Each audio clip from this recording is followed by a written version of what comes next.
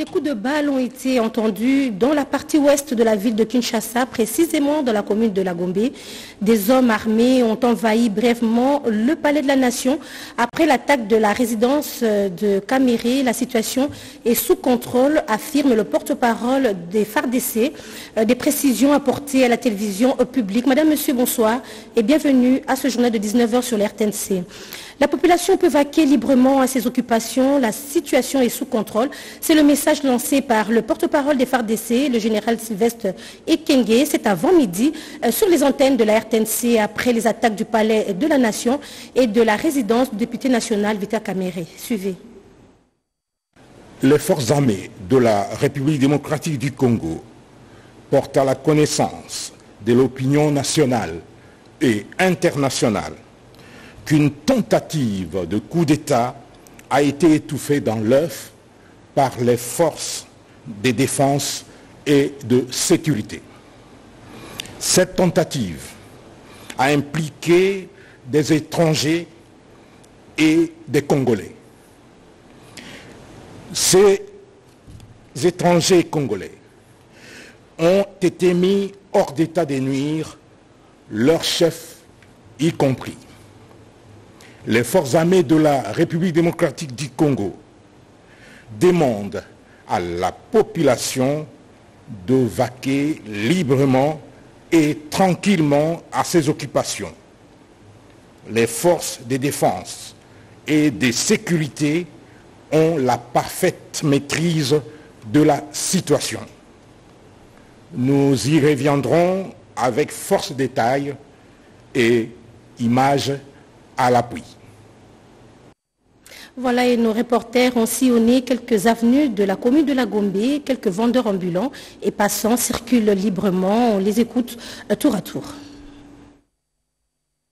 Fini enfin le calvaire de la population qui fréquente certains quartiers de l'avenue Ngouma dans la commune de Ngaliema. Après le passage du chef de l'État Félix-Antoine Tshisekedi Chilombo sur ce chantier il y a plus ou moins trois semaines, un coup d'accélérateur a été donné pour que les travaux avancent à pas de géant. Dès ce lundi, la voie sera ouverte et libre à la circulation, mais seul dans un premier temps, les véhicules à petit et moyen tonnage seront autorisés.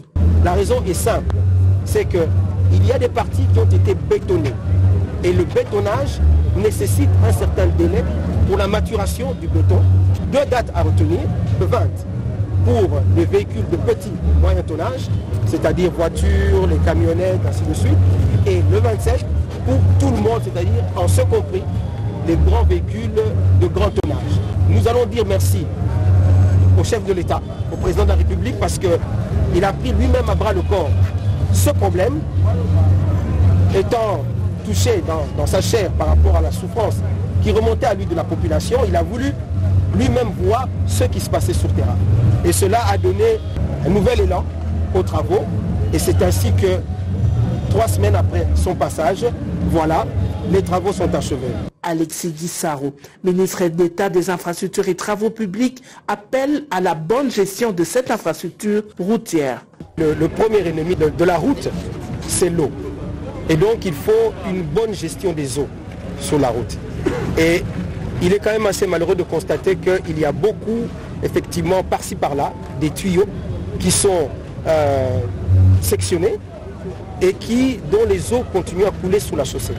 Et ça, c'est une chose euh, euh, qu'il faut absolument corriger, qu'il y ait une collaboration permanente entre les différents réseaux. Après des semaines de souffrance, c'est un ouf de soulagement pour les usagers de ce tronçon de la commune de Ngaliema.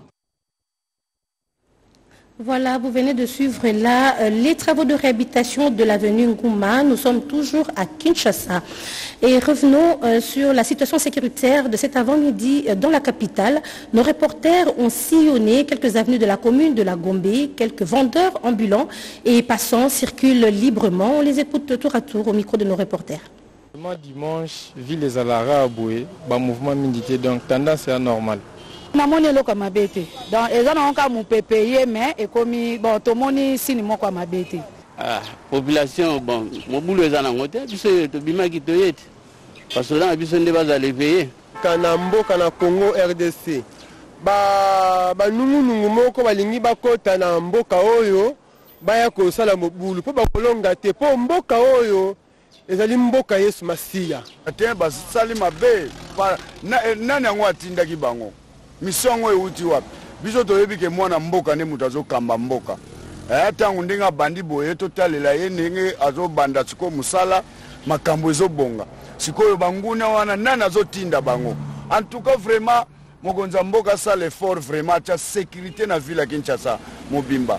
Parce ke ndenge babandide ya basondage wana soki babandide ya basondage wana eza mabe. eh, babiloko wana tosepeli nango te vraiment mokonzi ya mboka vraiment abimisa sécurité ya makasi mpo na ye vraiment azala protégé Messieurs, comme vous le remarquez, nous sommes ici sur le boulevard euh, du 30 juin dans la commune de la Gombe. La ville est calme. La population vaque librement à ses occupations. La circulation euh, est fluide. Un groupe d'assaillants s'est attaqué au palais de la Nation et en même temps à la résidence privée euh, du vice-premier ministre, ministre de l'économie Vital Caméré. Les forces de défense et de sécurité les ont vite maîtrisés. Plusieurs d'entre eux ont été capturés. Depuis les boulevards du 30 juin, Joseph Oscar Mbal, RTNC. Voilà, à présent, je vous amène dans la province de Nord Kivu. Il y a eu lieu un atelier sur la démobilisation des ex-combattants. D'autres détails dans ce reportage. Il s'organise à Goma du 18 au 23 mai un atelier sur l'analyse et la planification du désarmement et de la démobilisation des groupes armés, sous la facilitation de la MONUSCO DDR au profit du programme de désarmement, démobilisation, relèvement communautaire et stabilisation PDD-RCS Sud Kivu. Ces assises visent à renforcer les capacités de l'équipe de coordination du PDD-RCS, du Sud Kivu et des antennes territoriales d'Ouvira, Fizi, Mwenga et Calais dans divers domaines techniques, notamment l'analyse des conflits et la gestion des armes et des munitions. Dans son mot d'ouverture, le coordonnateur national de ce programme, professeur Abbé Bahala Jean Bosco, d'entrée de jeu, a rendu un hommage mérité à l'initiateur du PDD-RCS, le chef de l'État Félix Antoine Tshisekedi Chilombo, pour avoir fait de la recherche de la paix en RDC en général et de façon particulière à l'est de la RDC, son cheval de bataille. Je voudrais euh, dire toute ma gratitude à la coordination nationale euh, du PDDSS et à la MONUSCO parce que c'est ensemble que nous sommes en train de travailler à rechercher justement comment rendre opérationnel finalement ce programme sanitaire pour la paix dans le pays. Et nous savons que la collaboration de la MONUSCO, comme l'a dit euh, le général Maudit, est vraiment pour nous importante parce que dès le début du programme, dès le début euh, de la commission interprovinciale d'appui à la sensibilisation et euh, au programme de désarmement et de mobilisation et insertion communautaire, eh bien, la MONUSCO nous a accompagnés. Des avancées significatives sont enregistrées suite à la bonne collaboration existante entre le gouvernement congolais et la MONUSCO, chose saluée par le délégué de la représentante spéciale du secrétaire général des Nations Unies à RDC, le chef de section adjoint du DDR, le général Maudit Berté, qui a souhaité l'intensification et l'opérationnalisation du programme. Vous le savez déjà, l'appui de la MONUSCO au PDDRCS représente la deuxième priorité de notre mandat. Il vient, ou elle vient, cette priorité, après celle de la protection des civils, et elle est suivie, donc encadrée, par celle qui porte sur notre engagement à la refondation du secteur de la sécurité. Il s'est de rappeler que la résolution 2717 du Conseil de sécurité des Nations Unies du 19 décembre 2023, la MONUSCO dans son mandat est chargée notamment de fournir un appui au PDD-RCS en vue du désarmement, de la démobilisation et de la réintégration de combattants congolais et étrangers qui ne sont pas soupçonnés de génocide. Ce dimanche 19 mai, la Pentecôte, selon le calendrier liturgique catholique, qui est aussi célébré par d'autres confessions religieuses, constat de nos reporters Raymond Marie Lelo et Sian Demaka. 50 jours après Pâques, l'Esprit Saint est descendu sur les apôtres. C'est la Pentecôte. La mort et la peur ont disparu. Le paraclet, le consolateur, est à l'œuvre. C'est la fête totale, c'est l'effusion d'esprit. En la paroisse Sainte-Barbe, au camp colonel Kokolo, dans la commune de Bandalungwa, le président de l'Eucharistie a focalisé son homélie sur l'Esprit Saint, la troisième personne en Dieu, le conducteur de la vie des hommes. L'abbé Jean-Paul Lebouc a conscientisé les fidèles en les conviant à passer au peigne fond leur convivialité dans le réel vécu au quotidien. Se servant de la méthode socratique, l'aumônier militaire en chef a interrogé l'assistance sur leur marche dans la Sequela Christi. Il a insisté sur l'identité chrétienne.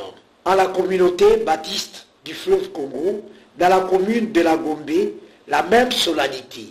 Les chants d'allégresse ont retenti avec fracas. L'esprit est là, l'esprit est là, la mort a disparu. Les grands jours s'est levé. L'officiante du jour s'est apaisantie sur les vertus théologales du Saint-Esprit. Lui qui partage la divinité avec le Père et le Fils, il joue un rôle prépondérant dans la vie chrétienne.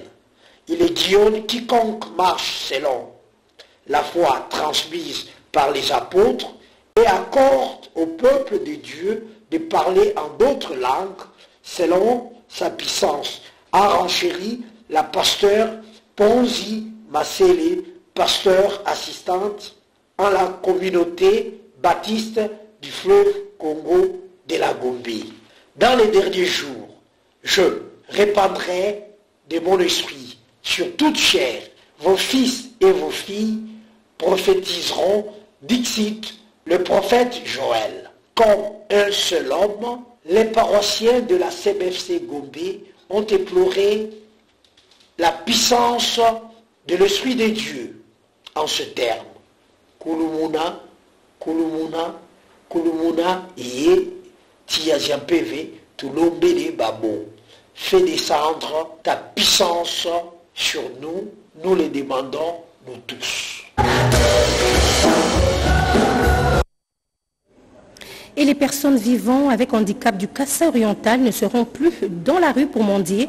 L'association pour la promotion et la protection sociale pour les vulnérables les appuie avec le concours de Raobank par le biais de Caritas. Image et commentaire. L'APSV, Association pour la promotion et la protection sociale pour les vulnérables, financée par Raobank à travers Caritas Développement, appuyé des femmes vivant avec handicap avec des kits pour leur survie dans le cadre du projet de l'autonomisation de ces femmes handicapées de Mbujimaï.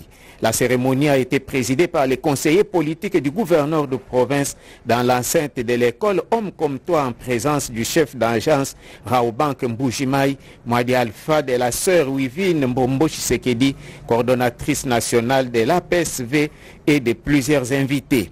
Après le mot de bienvenue de la sœur préfet, la présentation du projet par Augustin Chilembi, mot de remerciement et encouragement du président national de PVH, la coordinatrice nationale de l'APSV, Sœur Wivine Mbombo Chisekedi a détaillé les contenus des kits reçus par les femmes vivant avec handicap après avoir suivi la formation. Nous avons des machines à coudre, des fils, des pièces à confectionner, de, l'huile de palme et d'autres matières pour fabriquer les savons, puis qui reçoivent pour l'élevage. Le chef d'agence Raobank Mbujima Imadi Alpha a demandé aux bénéficiaires de ne pas vendre ces kits, mais plutôt de les utiliser correctement.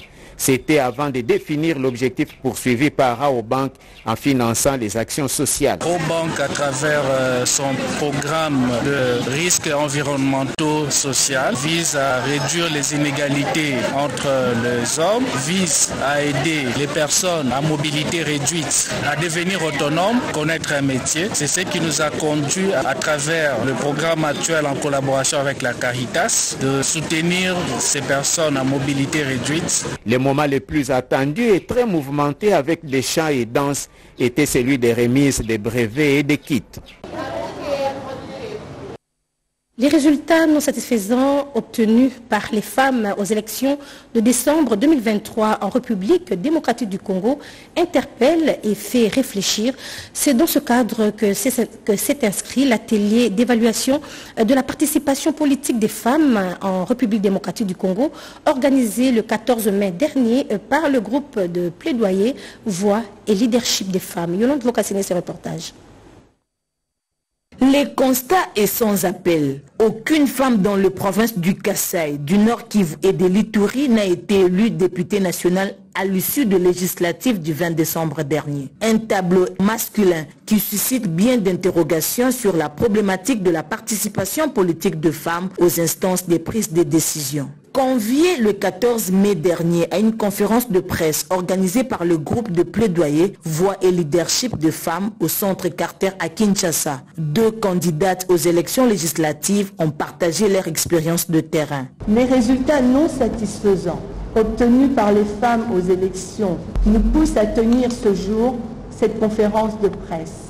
Comment comprendre qu'après 17 ans d'inscription du principe de parité homme-femme dans notre Constitution, à son article 14, que nous puissions nous retrouver avec, je vais dire zéro, zéro femme, aucune femme aux élections législatives nationales dans trois provinces, à savoir le Kassai, le Nord Kivu et l'Ituri. 17 ans après l'inscription du principe de parité homme-femme dans la constitution de la RDC, les femmes font toujours face aux multiples défis, dont celui lié notamment aux ressources financières. Les groupes de plaidoyer Voix et Leadership de femmes est dans la pratique un programme financé par les Affaires mondiales Canada et exécuté par le Centre Carter. Ces derniers ne comptent pas lâcher prise et va poursuivre son combat à travers le plaidoyer pour la révision de la loi électorale qui ouvrirait la voie à une meilleure participation politique de femmes en République démocratique du Congo. Contre la modification constitutionnelle, certaines organisations et partis politiques en parlent. Le mouvement républicain et démocrate du Congo parle au sein de partis au sein de l'Union sacrée, vient de lancer une campagne pour une nouvelle loi fondamentale, nous dit Cédric Eninambo. C'est un débat de société dans lequel les idées s'affrontent, les arguments font face aux contre-arguments. La révision ou les changements constitutionnels déchaînent parfois les passions. Les mouvements républicains et démocrates du Congo en fait un cheval de bataille. Pour le MRDC, il faut une nouvelle constitution adaptée à la RDC, loin de l'esprit du contexte des factions belligérantes de l'époque. D'où cette campagne portée à bout de bras pour appeler les Congolais à réfléchir et opter pour des changements profonds dans la gestion du pays. Comme le préconise Félix-Antoine Tshisekedi, président de la République, chef de l'État et garant du bon fonctionnement des institutions du pays. Une démarche qui commence tout d'abord par un noyau et qui va s'étendre à la masse par les billets des canaux de communication traditionnels, mais aussi et surtout des rencontres avec des structures de la société civile et autres. Le pays a besoin de se mettre sur les rails de développement. On reconnu les responsables du MRDC. Et cela passe par une loi fondamentale qui pourrait lui donner des ailes. La maquette pour le master et doctorat dans les instituts supérieurs pédagogiques techniques ISPT en République démocratique du Congo. Selon le système LMD, la question était au centre de l'atelier de 10 jours qui a vécu. Suivez. Désormais, les instituts supérieurs pédagogiques et techniques ISPT de la RDC auront bientôt un cycle de master et doctorat. C'est l'essentiel à retenir de l'atelier d'élaboration de la maquette pour les masters et doctorats dans les ISPT. Durant du jour, le participant venu de tous les ISPT du pays, notamment ISPT Likasi, Goma et celui de Kinshasa, ont réfléchi sur la maquette devant leur permettre d'avoir un cycle complet selon le système LMD. Au total, 17 mentions pour les masters et 6 programmes au niveau doctoral ont été retenus pour la formation d'un ingénieur pédagogue en RDC. Je salue le travail réalisé par toute cette tête grise et ne cache pas ma joie de voir la République démocratique du Congo être dotée d'un programme qui va enfin, dès que agréé, nous permettre en RDC de former les ingénieurs pédagogues. Pour les représentants du ministère des tutelles, les professeurs émérites Kaboulé Ouetoueba, secrétaire permanent du Conseil permanent de l'enseignement, l'élaboration de la maquette et les préalables pour l'organisation du système LMD, a-t-il souligné. Un des premiers préalables, c'est de mettre en place des maquettes de formation qui sont élaborées selon la démarche curriculaire recommandée par le, système LMD et c'est ce qui a été fait ici. Nous tenons à féliciter euh, l'ISPT Kinshasa comme point focal des 18 ISP que constitue notre pays. Signalons que cette cérémonie a été clôturée par la remise des brevets des mérites aux participants.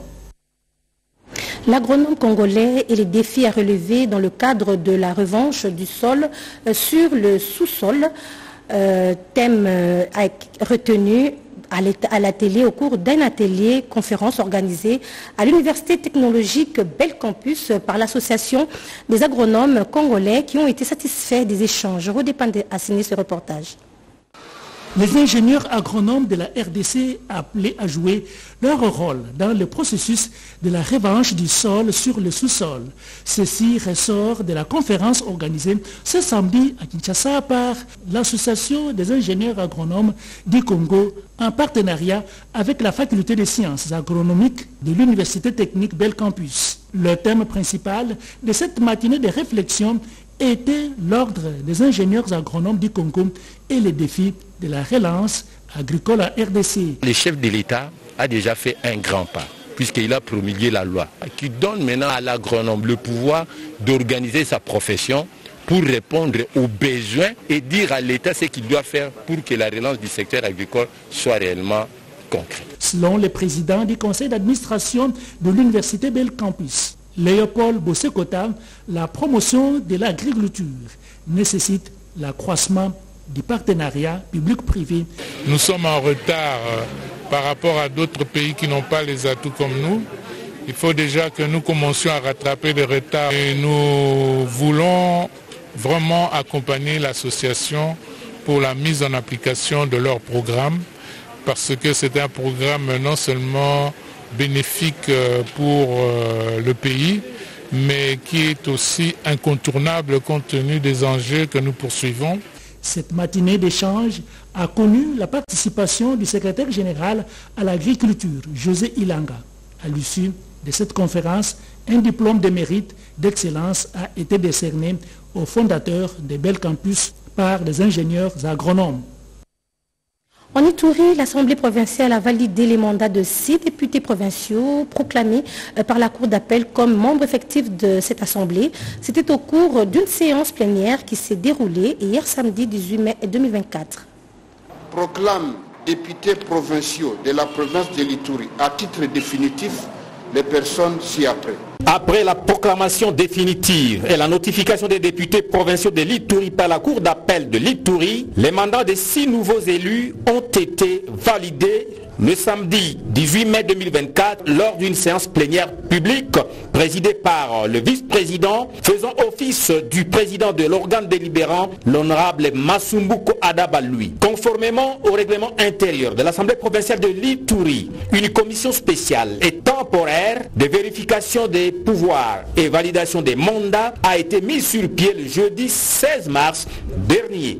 Cette dernière a présenté à la plénière son rapport qui a d'abord été reçu puis adopté, ce qui a permis la validation des mandats de ces nouveaux élus. La Cour d'appel de l'Itourie a rendu son arrêt RCE 045 qui donne de manière définitive les élus provinciaux de l'Itourie. Parce que jusqu'en va cette date, les députés qui siégeaient à l'hémicycle avaient cette qualité de manière provisoire. C'est depuis le 14 mai qu'on a su qui est définitivement député provincial. Ce qui fait qu'il y a les élections sénatoriales qui sont prévues pour le vendredi 24. Ainsi, l'Assemblée provinciale de l'Itourie compte désormais 47 députés confirmés par la Cour d'appel et qui éliront les quatre sénateurs le 24 mai prochain. Ça y est, l'Assemblée provinciale de l'Équateur dispose à ce jour d'un bureau permanent et celui-ci sera dirigé par l'honorable Delcy Matadelsi qui vient d'être élu président au cours de la plénière de ce samedi 18 mai 2024. Image et commentaire. Cette plénière, conduite par le président du bureau d'âge, Willy Bokonga, élu de Lukolela, comportait trois points à savoir prendre acte de l'arrêt rendu par la Cour constitutionnelle sous RC 2211, 2212 et 2213. Annulation de décision de la séance plénière du mardi 4 avril 2024 et réhabilitation de honorables députés provinciaux Elongama Elambo Clovis, Bompanga Yete Jean-Pi et Bandinga Bokotomba Jean-Paul. Deuxièmement, cooptation et validation du mandat du chef coutumier Ekamba Bosenge Ruffin. Et enfin, élection et installation de membres du bureau définitif élu. À l'issue du vote, où ont pris part tous les 21 députés, le bureau suivant a été installé. Honorable Delcy Mata Delcy, président, avec 12 voix. Honorable Elekola Angema Jean-Paul, vice-président avec 11 voix. Honorable Mozoko Vigilant, rapporteur avec 11 voix. Honorable, honorable Ambokani Njanga Ezekiel, rapporteur adjoint avec 11 voix. Et enfin, l'honorable Beyoko Bokono Vox, Kester avec 12 voix. Prenant la parole pour ce mot de circonstance, le président Delcy Mata Delcy a prôné pour l'unité et la paix. Au nom du bureau permanent de l'Assemblée provinciale de l'Équateur, je m'engage. Nous nous engageons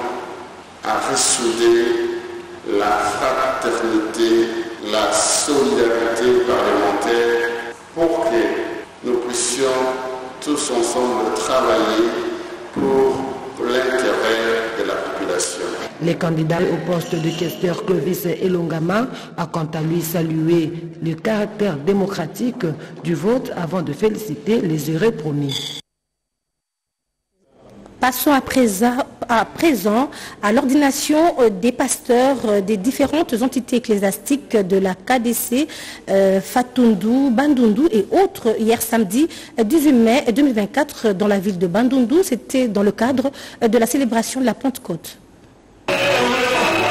La moisson est grande, mais les ouvriers sont peu nombreux. C'est dans ces contextes qu'une délégation venue de Kinshasa, dont à la tête le représentant légal, premier suppléant de la KDC, le révérend Ilunga, a effectué les déplacements de Bandundu à l'église La Borne Malebo, dirigée par le révérend Doli Longanga pour l'ordination sacerdotale de 15 nouveaux pasteurs venus de Fatundu, Axe Kassai, Mabenga, Tomo et Bandundu.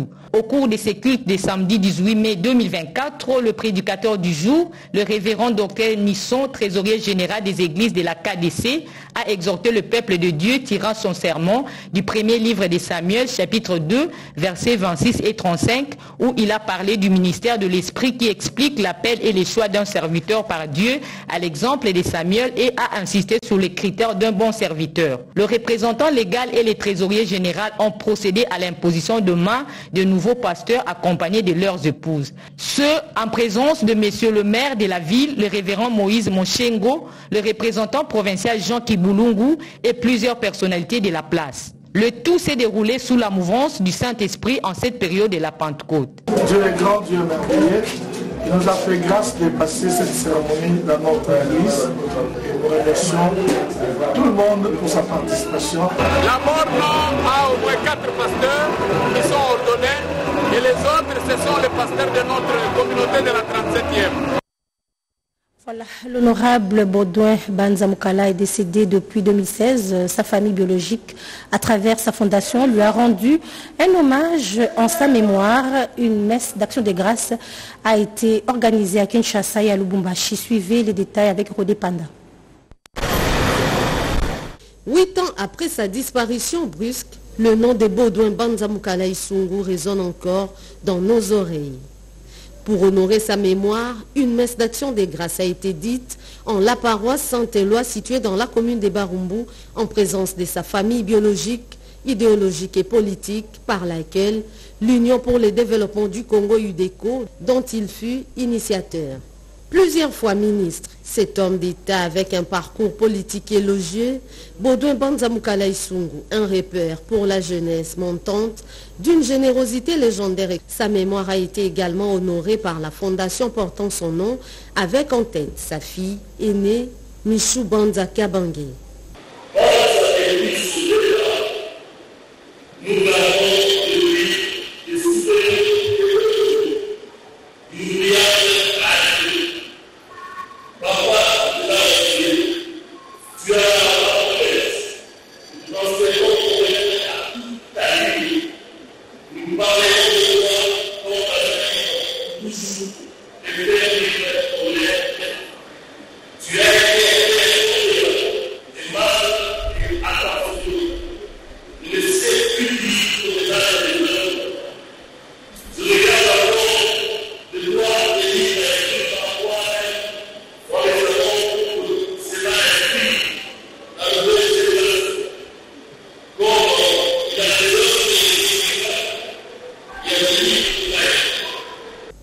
Cérémonie similaire à Lubumbashi, cette fois-ci, les dépôts d'une gerbe de fleurs au sapin 2 à Lubumbashi, province du Haut-Katanga, où repose pour l'éternité l'âme des feux Baudouin Banzamoukalai.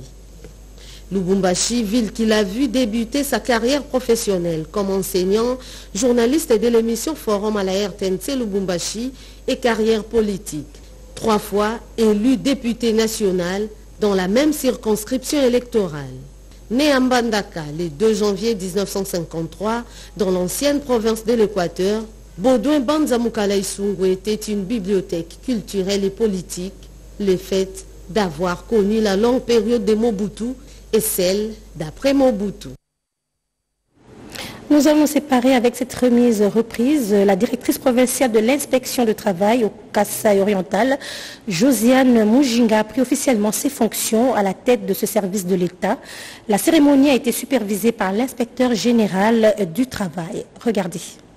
De prime abord, l'inspecteur général du travail, Jean-Paul Mboma, a circonscrit le cadre de la nomination des nouveaux directeurs provinciaux de l'inspection du travail. Pour lui, ces mises en place rentrent dans le cadre de la réforme initiée par les chefs de l'État et matérialisée par les ministères de la fonction publique ainsi que celui des travail et prévoyance sociale. Nous remercions les autorités de la République d'abord, en commençant par le chef de l'État, Félix-Antoine Tshisekedi, qui a voulu mettre au centre de son action gouvernementale la réforme de l'inspection générale du travail. Pour matérialiser cette vision, nous remercions également le VPM à la fonction publique, M. Liao, qui n'a ménagé aucun effort pour appuyer notre ministre des tutelles, son Excellence Madame Claudine Doussi, pour matérialiser maintenant la vision du chef de l'État après lecture de la commission d'affectation collective dénommée dont Madame Josiane Mujinga, s'en est suivi la cérémonie d'installation proprement dit de la directrice provinciale de l'inspection du travail au Cassa oriental, sanctionnée par un procès verbal. Avec impression de joie, Madame Josiane Mujinga souhaite se mettre au travail en toute unité avec ses collaborateurs. J'ai une joie immense pour ma nomination et ma promotion. Jadis, j'étais chef de division depuis 2007 et aujourd'hui, je deviens directrice provinciale. Ça, c'est une joie. Et je rends aussi mes, hommages les plus différents au président de la République. Et je remercie aussi grandement Mamani Mama, à mes collaborateurs, qu'on puisse travailler main dans la main Outre la délégation venue de Kinshasa en compagnie de l'inspecteur général du travail, plusieurs inspecteurs et contrôleurs du travail ont assisté à cette cérémonie.